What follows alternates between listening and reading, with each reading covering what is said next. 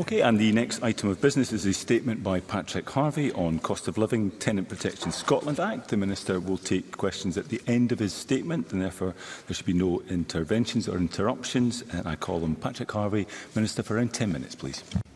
Thank you very much, Presiding Officer. I'm pleased to be able to make a statement today to Parliament to accompany publication of the first of the Scottish Government's three monthly reports on the Cost of Living Tenant Protection Scotland Act covering the period 28th of October to 31st December 2022.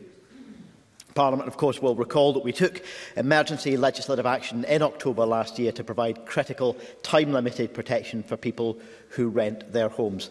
Uh, people renting have, uh, on average, lower household incomes, higher levels of poverty and are more vulnerable to economic shocks. 63% of social rented households and 40% of private rented households don't have enough savings to cover even a month of income at the poverty line. And that's compared to 24% of households buying with a mortgage and 9% of households who own outright.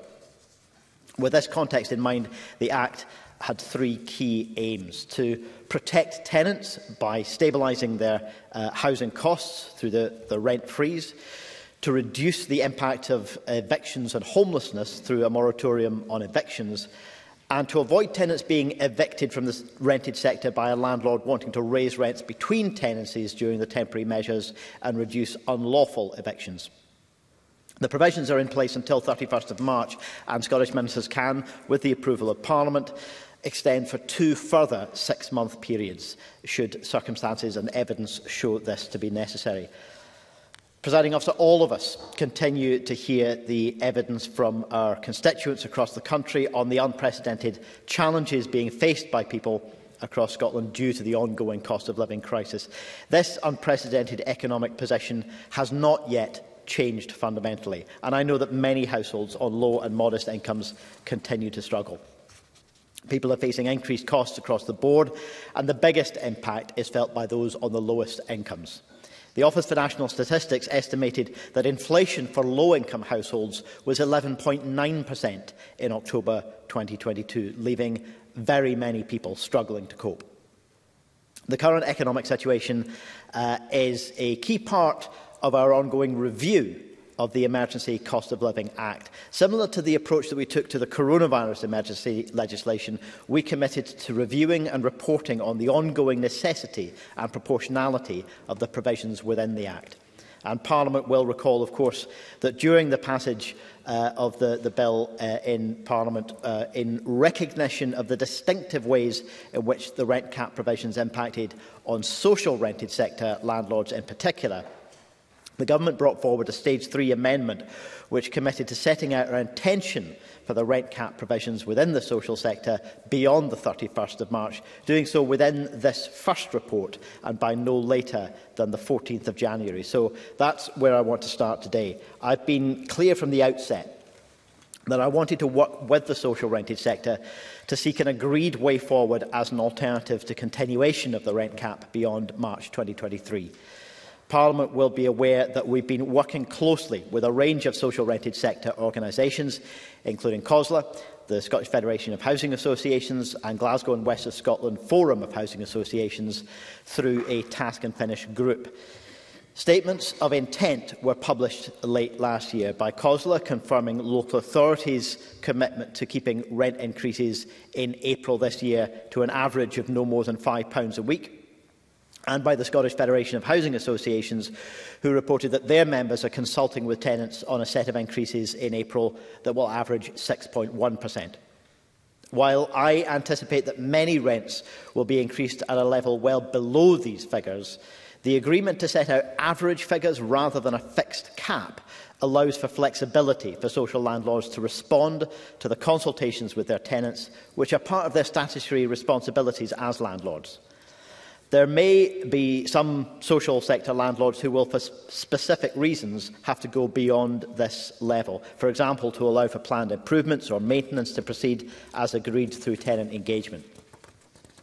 This will allow for the statutory tenant consultations currently taking place to be taken properly into account for housing associations' business plans uh, and for local authorities' housing revenue account plans and no social landlord is consulting on a rent increase at or above CPI inflation, which was 11.1% at the time of the data being collected. In light of the voluntary agreements that have been reached across the social sector, I can confirm that we will now bring forward legislation to expire the social rented sector cap provisions from March 2023. Having set out the position on social sector rents, I want to turn now to the position as it affects the other parts of the Emergency Act and other parts of the rented sector. The report that we published today uh, sets out that Scottish ministers have undertaken a review of the provisions of Part 1 of the Act in order to consider whether those provisions remain necessary and proportionate in connection with the cost of living. This first report both considers the status of measures through to 31st of December, the initial period of the legislation, and alludes to what factors might be taken into account post 31st March to determine the ongoing necessity of these measures, which will be subject to separate parliamentary processes later this month. At the end of this first reporting period, it is clear that the unprecedented economic challenges are continuing to impact acutely on those who rent their home.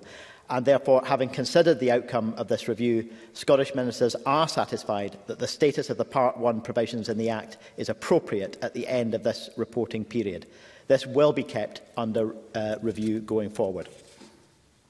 On the next issue, presiding officer, while the Scottish Government is committed uh, to expiring or suspending specific provisions as they are no longer necessary, emerging evidence on the cost crisis makes it likely at present uh, that some of the provisions of the Act will be required after the current expiry date of the 31st of March. For example, in order to continue to reduce the impacts of eviction and homelessness on tenants in both the social and private rented sectors, it would appear crucial that the current moratorium on evictions continues, with, of course, the safeguards that were put in place last October. In addition, the Chamber will be aware of the distinct differences between how the social and private rented sectors operate. Clearly, there are still economic challenges facing private renters and uh, there is not the opportunity to agree a collective voluntary approach in the private rented uh, sector, given the very different nature uh, of the sectors. So I would anticipate that it will remain necessary and proportionate to extend the rent cap provisions beyond the 31st of March in the private rented sector, while recognising that the Act gives power to vary what the cap actually is. Our consideration of the rent cap in relation to student accommodation is also being considered, particularly in light of the evidence showing that it is having a very limited impact, due again to the different way in which such tenancies are managed. And I hope to be able to set out our intentions on this very soon. Presiding officer, these are uh, all matters that we will continue to weigh up and bring back to Parliament soon with specific proposals based on the most up-to-date evidence available. And the decision on whether to extend is, of course, for the whole Parliament to make, and we look forward to hearing the outcome uh, of the future consideration of these matters. Presiding officer, as required by section 9 of the Act, Scottish ministers have conducted a review of the provisions of, in Part 1 of the Cost of Living Tenant Protection Scotland Act and have prepared this report. We are satisfied that the status of the provisions set out in Part 1 of the Act uh, eh, as at 31st December remain appropriate. We've also undertaken a review of the associated SSIs. Scottish ministers are also satisfied that the status of those SSIs at the end of the reporting period is appropriate. The provisions we report on today are one part of Scotland's ongoing response to the cost of living crisis. This government will continue uh, to do our duty to report and to be held accountable to Parliament for the use of these powers. And we welcome the opportunity of engagement with uh, Parliament and MSPs uh, as this uh, first report is considered. Thank you, Presiding Officer.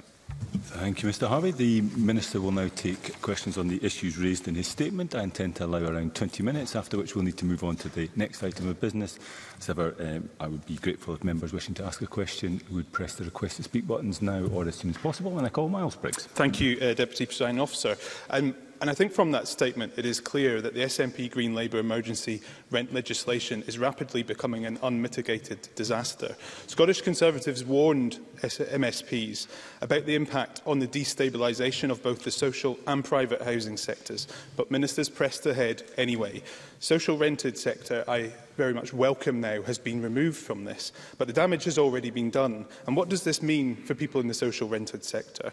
Well, they're likely now, instead of seeing an average rent increase of 6.1%, that could be an increase of up to 11.1%. So this government is driving rents up at the same time it says it wants to do something.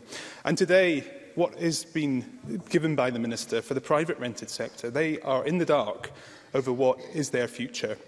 can I ask the Minister two very simple questions. What assessment have ministers now actually made on the impact this legislation is having on private rented properties not coming to market? Because here in the capital, that is driving the housing crisis and will get worse as autumn approaches and student housing especially changes. And given the very same pressures the minister says he's listened to and taken on board with regard to the social rented sector, these apply to the private sector, and the minister should understand that.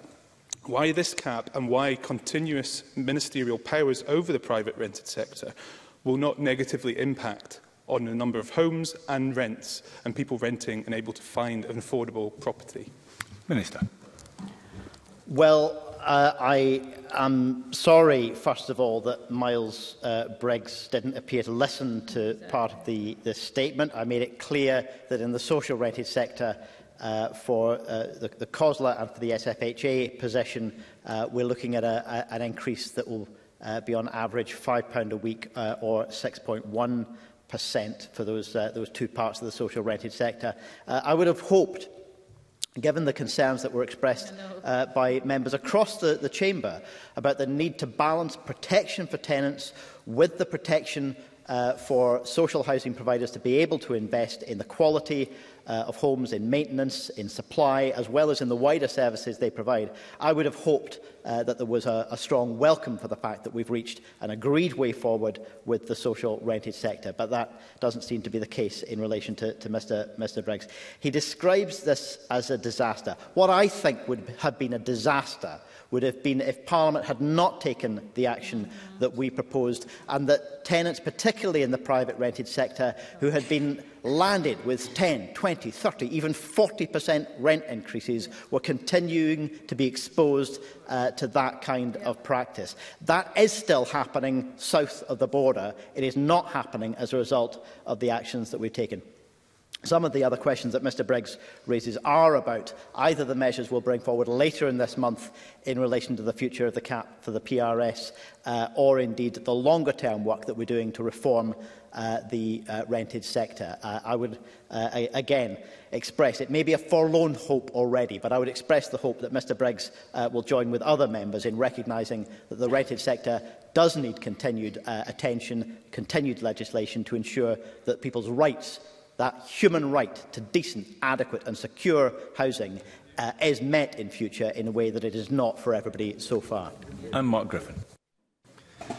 Thank you, President Officer. I draw members' attention to my register of interest as owner of a private rented property in North Lanarkshire Council um, area. Uh, in November, the Minister reiterated that the freeze legislation is temporary and can only be extended for two further six-month periods. Now, we know that landlords are already preparing increases once the, the freeze ends, and the ONS said that by November, private rent increases were at the highest level since they started collecting data in 2012.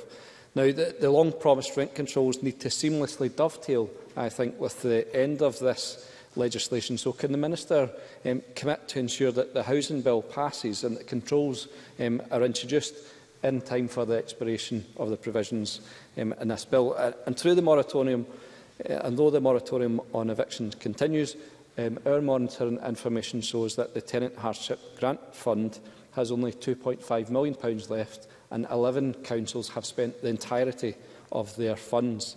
Can I ask um, what the government plan to do to renew that fund um, so that tenants who are building up arrears through the moratorium um, eviction don't face a cliff edge when those expire also? Thank Minister. Uh, I, I thank Mark Griffin uh, for his, his questions, which do raise substantial issues that are of concern to us. We do want to ensure that the Tenant Hardship Grant Fund, uh, the Tenant Grant Fund, is uh, achieving the greatest possible benefit for, for those who are in need of it, and we're actively engaging uh, with local authorities around the guidance on uh, how that can be uh, uh, uh, uh, delivered uh, as effectively as it possibly can be. And I, and I hope that we can rely on the support of, of Labour to achieve that objective. In relation to the longer term reform, uh, we discussed some of this, of course, during the, the debates on the bill itself. Uh, Labour understand, I know, uh, that the emergency legislation needs to be justified in the context of the ongoing uh, e-, economic circumstances, that cost of living crisis, uh, and the requirement within the legislation for us to continue to assess and report on the necessity and proportionality. Uh, and you know, if we if we weren't doing that, uh, we would have a, a, a much more Uh, danger of, uh, of the measures that were being taken being challenged, uh, understandably. We are satisfied for the time being that they remain proportionate uh, and necessary. We will have to keep that under review, and that review is why we can't give an absolute guarantee about what the subsequent decisions would be at later six-month periods. But the legislation does include the mechanism uh, to reform the adjudication uh, methodology so that we can have a bridge into the longer-term uh, work that will be taken forward later in this Parliament. Thank you. Paul McLennan to be followed by Jamie Green.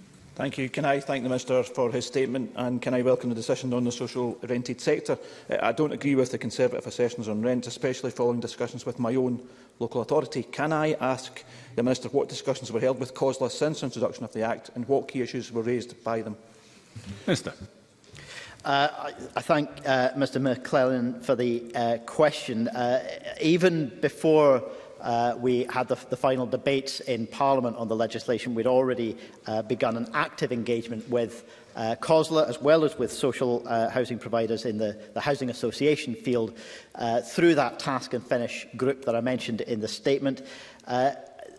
many of the issues that were raised by those providers were also raised by parliamentarians from across all political parties in Parliament. All of us understand that the social rented sector doesn't exist to make profit.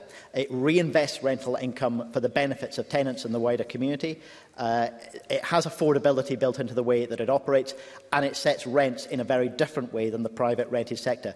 The sector wanted us to understand that. We wanted to be, assure them that we did understand it and take it seriously uh, and that we want to work with them not just on protecting tenants in the here and now, but investing for the future in adequate supply and, of course, in the transition to net zero, all of which requires them to be able to manage and plan for their investments. I'm really, really pleased that we're able to reach agreement with the sector uh, and I hope that members across the chamber will be reassured, reassured by that. Jimmy Green, to be followed by Evelyn Tui. Uh, thank you. I am genuinely concerned about the potential risk of the lengthening and extension of this in the private sector. I have nothing to declare interest-wise, but I do know that quantitative and robust research data from the private rental market shows that agents are telling us that there's been a marked increase in the number of landlords who are either seeking to sell their properties or who will increase rents between tenancies, and that surely will have a knock-on effect on future rentals. Does the Minister think that this is only going to get worse as a result of the extension? And what consultation did he actually have with the private rented sector in advance of making today's decision? Minister. Uh, we have certainly been in regular dialogue with the private rented sector representatives. Uh, and I have to say, not only uh, landlords and investors, but tenants as well in the private rented sector whose voices also deserve to be heard. So we've, we've maintained uh, that dialogue. But you know, I, I, I think Jamie Green you know, Clearly, the Conservatives opposed the principle when we debated the bill of having a, a rent cap in the private rented sector. They're entitled to that view.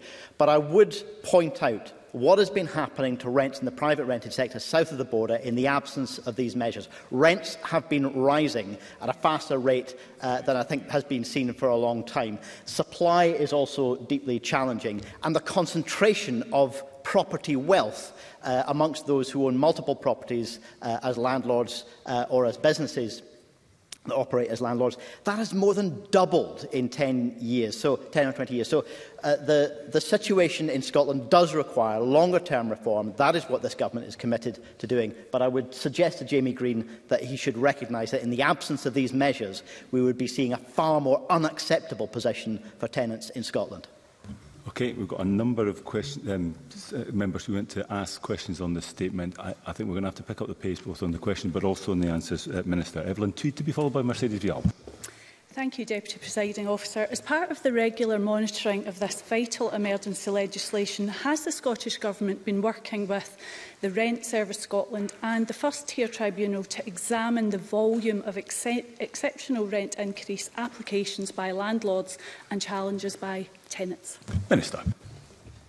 Uh, yes, of course, we've been uh, actively engaged in that. We We believe that the number of applications for uh, using the prescribed costs uh, available has been relatively low, but we're continuing to work uh, with the, the, the organisations that are part of the landscape and the machinery of delivering that uh, that, uh, that particular form of protection for landlords, given that not all landlords are in the same financial circumstances. We'll continue to keep these issues under close consideration uh, as we move forward with the short-term measures and the longer-term work on reform. Thank you. Mercedes Vialba to be Graham Grimdy. Presiding officer, for as long as tenants have campaigned for a rent freeze, there have been private landlords threatening to sell up in response. So reports of a rise in the number of landlords selling up come as no surprise. But what systems has the Minister put in place to monitor these sales and any subsequent evictions to verify these claims? And let's remember that those landlords who have sold up have been able to do so thanks to the eviction exceptions this government included in the legislation. So can the Minister tell us how many of those properties sold has the Affordable Housing Supply Programme supported the purchase of to bring those properties into public ownership and remove any need for evictions? Minister. Minister. Uh, well, I, I know that the member well understands the reasons why the exceptions were, were necessary in order to, to demonstrate that the protection against evictions uh, as a whole could be presented as a defensible and a proportionate uh, measure that this Parliament was capable of passing. I, I know that that's, that's well understood. Uh, and I, I, I would point out as well that the, um, the, evic the, the eviction exceptions do not include uh, simply the, the desire to make a profit. That's not something that, that landlords can uh, apply for evictions as an exception to the, to the rule at the moment. But yeah, absolutely, we need to ensure that going forward we're working toward a housing system that is fair, that is equitable and meets people's human rights uh, to adequate housing. I, I know that Mercedes Bealba and I share more in common uh, than we have that separates us uh, on the need to achieve that. Uh, and I do hope that we'll continue to work together with Labour colleagues, uh, as we did during the emergency legislation, to try and achieve that. Graham Day, to be followed by Willie Rennie. I thank you. Uh, pitch fees, the equivalent of rents for park home occupiers, are not covered by the legislation. I have constituents who are facing demands for a 14% increase in those fees this year, which, given these are all older people, most of them on fixed incomes, it's frankly outrageous.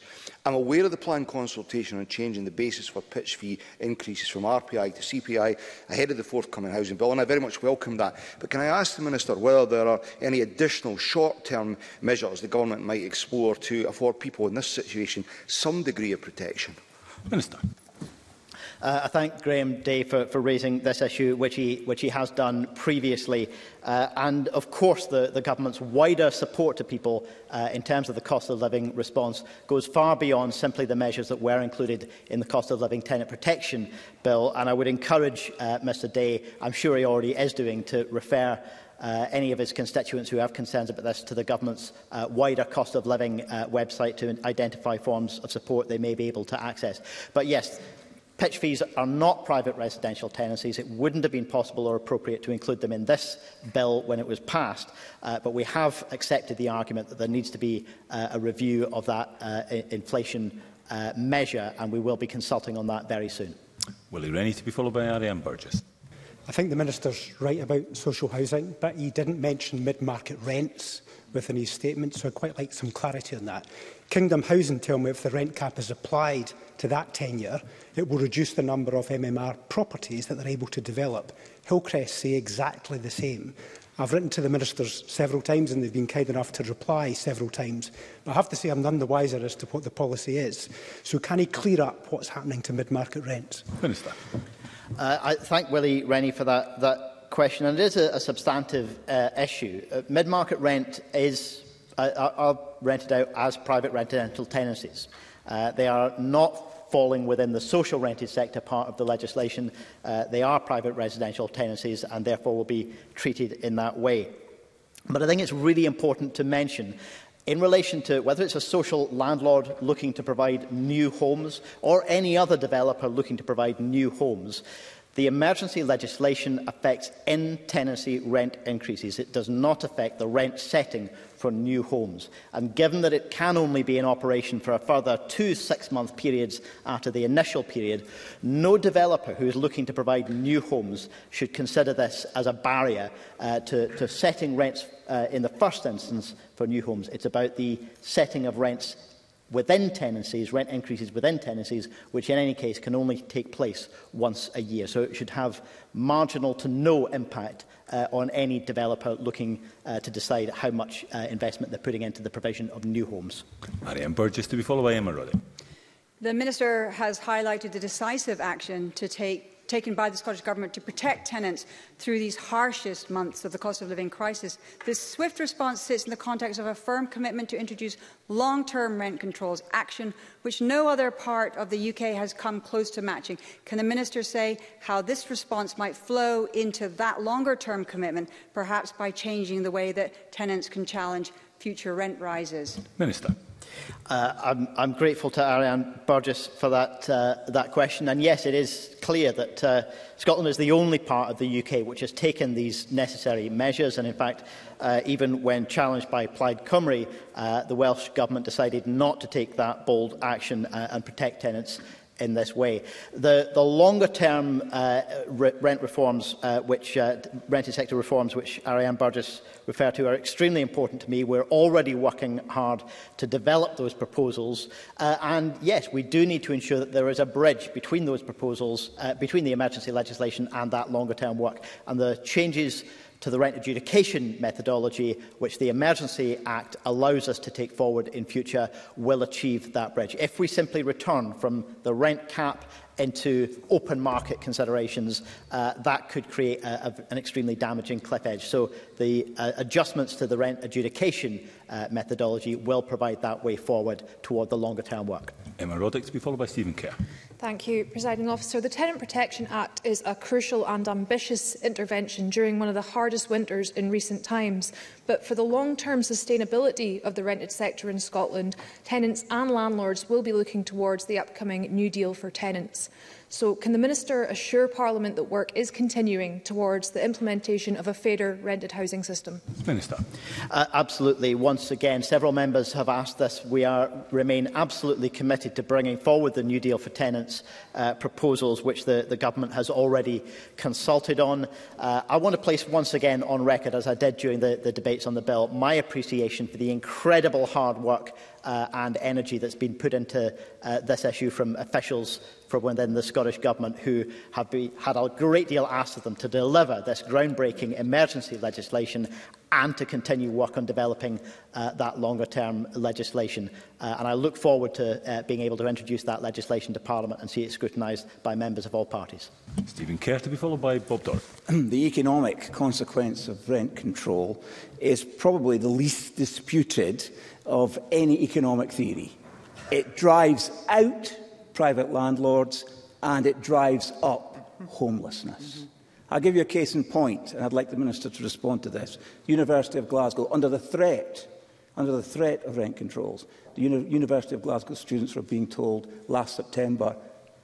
postpone your courses, don't turn up, because of the shrinkage in capacity Briefly, in the Glasgow rental housing market. So what is being done now by the Scottish Government, by the Ministers, to ensure that we don't have an even more severe problem this coming September? Minister.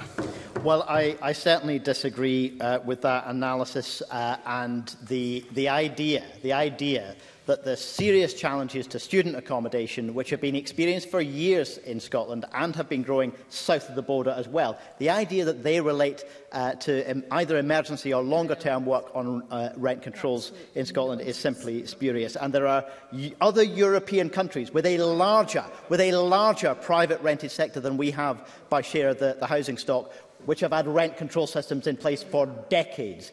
High quality affordable, sustainable and secure housing is absolutely affordable. It does require further reform. Uh, and the last thing I would say to Mr Kerr is that the one thing that is least disputable about this is that if we had not taken action, we would be seeing tenants in Scotland lumbered with the same kind of excessive, eye-watering rent increases that they are living with south of the border. And briefly, Bob Dorr. Uh, thank you, President Officer. I was against enforced rent increases, and so rent freezes in the social rented sector. Uh, I welcome this will not happen and acknowledge statements of intent from housing associations that rent will not go up by inflation at around 11%, but rather by an average of 6.1%.